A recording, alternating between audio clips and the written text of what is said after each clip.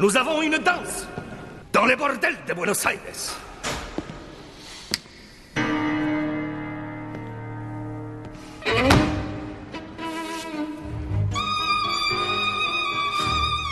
D'abord, il y a le désir. Μας έχει κερδίσει όλους με τη ζωντάνια, με τη γλυκύτητά της. Η απλότητά της είναι κάτι το παρημιώδες. Πρόκειται για έναν πολύ αξιόλογο άνθρωπο, πολύ πλούσια ψυχικά αισθήματα και χαρίσματα. Το βιβλίο του οποίου αξίζει να διαβαστεί και να αγαπηθεί όσο τίποτε άλλο. Πάντα σε αγαπάμε. Είναι ένας εκρηκτικός άνθρωπος και όπως είπαν όλοι, γεμάτος πάθος για τη ζωή. Πάθος το οποίο από μόνο του για την Βενετία είναι ένα ολόκληρο ταξίδι. Αυτό είναι πολύ τυχερός που έχω μια τόσο δυναμική γυναίκα σαν, σαν μάνα. Τι πιστεύεις ότι είπανε για εσύ; Ε, επειδή οι άνθρωποι που είναι εδώ είναι φίλοι και όλα και αναγνώστες που με αγαπούν, πιστεύω ότι θα είπανε καλά.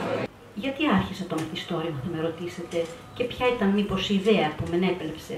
Μήπως ήθελα να δώσω κάποιο μήνυμα; Σας καλωσορίζουμε απόψε στον πνευματικό αυτό χώρο με θέα τη Βουλή των Ελλήνων για την παρουσίαση του νέου βιβλίου της Βενετίας Πιτσιλαντής Σουαρτ της παθιασμένης Ελληνίδας συγγραφέως της Γενέβης.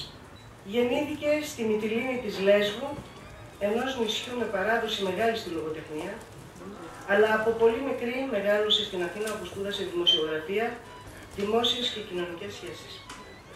Συνέχισε τις σπουδές της στο Πανεπιστήμιο του Λονδίνου στη συμβουλευτική ψυχολογία. Μετέπειτα, στο Πανεπιστήμιο της Γενέβης, σπούδασε ψυχολογία και επιστήμες της εκπαίδευσης. Παντρεύτηκε Ελβετό και απέκτησε δύο παιδιά. Ζει μόνιμα στη Γενέβη, όπου για πολλά χρόνια εργάστηκε κάνοντας συμβουλευτική ανθρωπίνων σχέσεων. Είναι ενεργό μέλος πολλών συλλόγων, φιλανθρωπικών, πολιτισμικών, κοινωνικών, καθώς και λογοτεχνικών. Το βιβλίο με τον πολύ ιδιαίτερο τίτλο «Λόγιμνη με ψυχικές χειροπέδες» είναι ένα μυθιστόρημα ψυχογράφημα που απογυμνώνει την ψυχή των ηρώων της, τους εκθέτει απέναντι στις επιθυμίες και στα πάθη τους, κάνοντας έτσι τον αναγνώστη να συνειδητοποιήσει τα δικά του ελλείμματα και τα κενά απέναντι στον εαυτό του.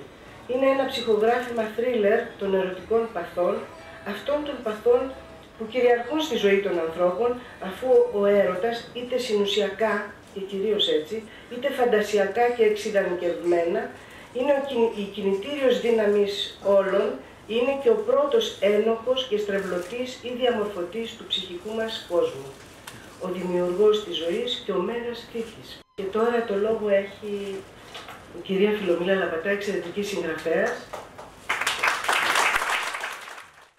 Η Βενετία είναι ένα πολυπρόσωπο, ένας πολυπρόσωπος χαρακτήρας. Η Βενετία κάνει ένα θαυμάσιο έργο στο εξωτερικό και αυτό το έργο που συνήθως δεν παρουσιάζεται πουθενά. Ούτε από το κράτος μας, ούτε από τους διαφόρους φορείς. Αυτό το έργο, το έργο πρέπει να το καταθέτουμε. Και θέλω απόψε να το καταθέσει, γιατί όταν μιλάμε για καλά πράγματα, αυτά τα καλά πράγματα πολέμουν, γίνονται πολλά και μας αγκαλιάζουν όλους. Το βιβλίο «Ολόγυμνοι με ψυχικές χειροπέδες» είναι μια στοχαστική ματιά πάνω στους ανθρώπους, τα πάθη τους, με ένα πρωτότυπο τρόπο καταγεγραμμένο. Θέαμα, ήχοι, μυρωδιές, συναισθήματα, ξυπνούν μέσα από τη γραφή της που φαίνεται να πηγάζει κατευθείαν από την ψυχή της σε γεγονότα τα οποία καταγράφονται στις σελίδες του, του μυθιστορήματος.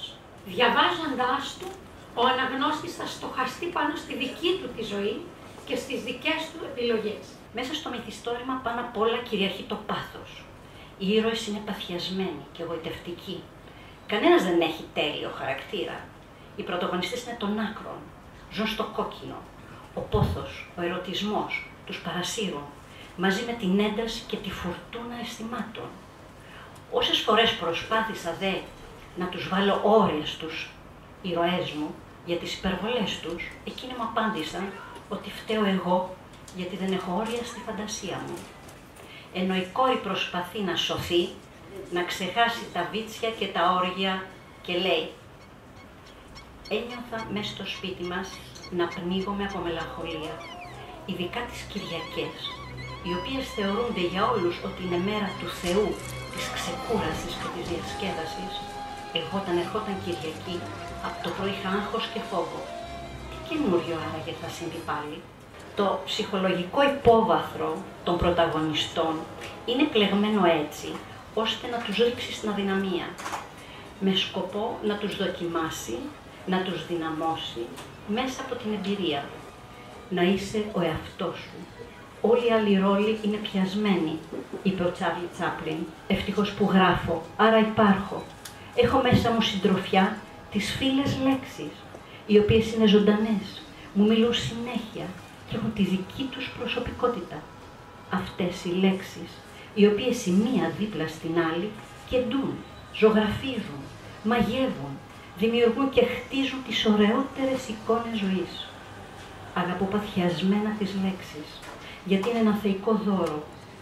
Καθημερινά με εκπλήσουν, γιατί έχουν την ικανότητα να αλλάζουν μορφή, νοήματα και βάθος, ενώ συγχρόνως επηρεάζουν τη διάθεσή μου.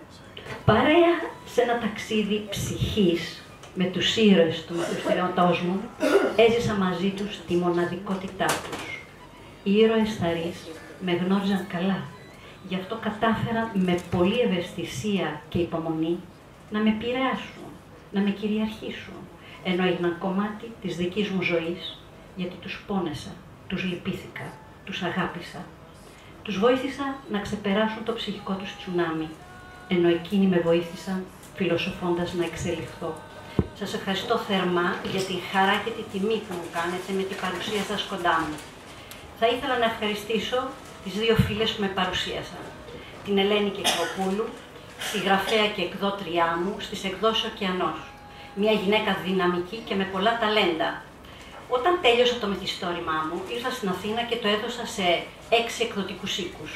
Από αυτούς οι τέσσερις μου δώσαν θετική απάντηση, άρα ήμουν στο δίλημα ποιο να επιλέξω. Πρέπει να πω λοιπόν ότι η Ελένη με κέρδισε, γιατί έχει και εκείνη το πάθος το μεγάλο και τις γνώσεις όσο αφορά το βιβλίο, την αγορά του βιβλίου, τους συγγραφής, οτιδήποτε έχει με το βιβλίο. Και έτσι λοιπόν άρχισε η συνεργασία μας και η φιλία μας και εύχομαι να συνεχιστεί με πολλά άλλα βιβλία και πολλές επιτυχίες. Σε ευχαριστώ για τα ωραία σου λόγια. Ευχαριστώ πολύ τη συγγραφέα και φίλη καρδιάς, τη Φιλομήλα Λαπατά, με την οποία πολλά χρόνια τώρα μοιραζόμαστε μοναδικές στιγμές στην Αθήνα, μοναδικές στιγμές ζωής στην Αθήνα και στη Γενέβη. Μας δένει η συγγραφική μας ευαισθησία, μας δένει μια πραγματική φιλία. Η Φιλομήλα με την αγάπη της είναι πάντα κοντά μου σε όλες μου τις παρουσιάσεις. Βλέπω στην αίθουσα πιστούς φίλους, συγγενείς, ε, συγγραφείς, αξιόλογους συγγραφείς, ποιητές, ανθρώπους του πνεύματος, δημιουργούς και καλλιτέχνες. Και ειδική χαρά ο γιος μου, ο οποίος ήρθε επίτηδες από το Λονδίνο να είναι κοντά μου. Αυτές λοιπόν τις μοναδικές στιγμές που ζω σήμερα, αυτή τη βραδιά, σε αυτή την αίθουσα που νιώθω την άβρα σας και το παλμό σας να με αγγίζει. Ειδικά είναι πολύ μεγάλη συγκίνηση, γιατί βρίσκομαι στην όμορφη και μαγική μας Αθήνα, την πόλη μου που αγαπώ και όπου μεγάλωσα και επειδή είμαι ευτυχισμένη που κυκλοφόρησε το βιβλίο μου αυτό, θα ήθελα να σας πω από τώρα ότι μετά την παρουσίαση είσαστε όλοι καλεσμένοι σε μια δεξίωση στο σπίτι μου, όπως λέω, γιατί μένω εκεί στο Plaza Athens απέναντι, ώστε να συνεχίσουμε να γιορτάσουμε το βιβλίο και να μπορώ να σας χαρώ και να με χαρείτε από κοντά.